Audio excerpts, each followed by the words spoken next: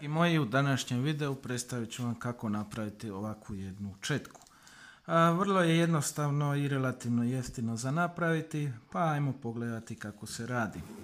Znači za ovu četku trebaju nam dvije matice M8, jedna navojna šipka M8, jedan komad ovakve hidraulične cijevi, treba će vam sajla od bicikla, eventualno neka druga sajla i znači to je to.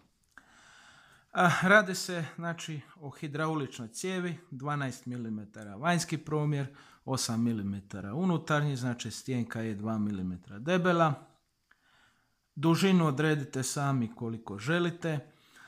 Znači, prvo za početak stisnete komad cijevi između dvije matice. Pogledajte da vam je znači ova površina i da ova površina budu u skladu jedna sa drugom. Samim time omogućit ćete lakše bušanje jer vam se neće znači kotrljati po stolu budući da je ovo šesterokutna matica.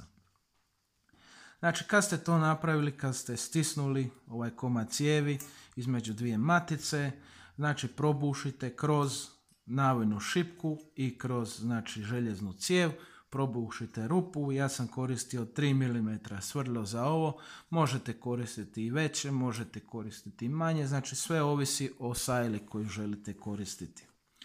A, sajlu odrežite na promjer koji želite, znači na primjer ne znam 43, pa odrežete na 45, znači ostavite malo više, Pogledajte samo da vam budu znači dužine jednake, to možete sa pomičnim mjerilom ili ne znam ravnalom, nije baš neka preciznost bitna.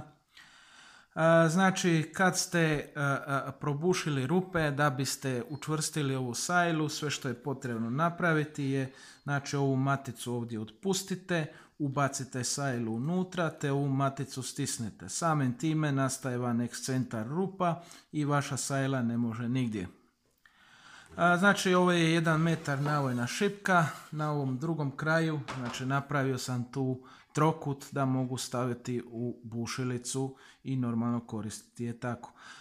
Da biste to napravili znači stisnete matice ovako dvije i samo markerom označite. Otprilike, ne mora to biti sada ništa precizno i turpijom poravnate ovaj dio dok ne dobijete trokut vrlo jednostavno za napraviti. Ako želite znači još produžiti, možete naravno zavariti navojnu još jednu šipku i tako do nedogled. Na primjer ako želite čistiti ne znam, kanalizacijsku cijev ili tako nešto. Ili nekakvu dugačku cijev recimo od hrđe ako imate. Vrlo jednostavan proizvod za napraviti. Tu sam stavio ove dvije matice, ona mi služe kao distanca i ujedino možete isto tako staviti ključ i onda sporo okretati ovu četku. Ako imate težu hrđu, znači za skinuti. Sporije je uvijek bolje. Znači, eto, toliko. Jedan jednostavan proizvod za napraviti. Hvala vam što ste gledali moj video. Do sljedećeg put. Doviđenja.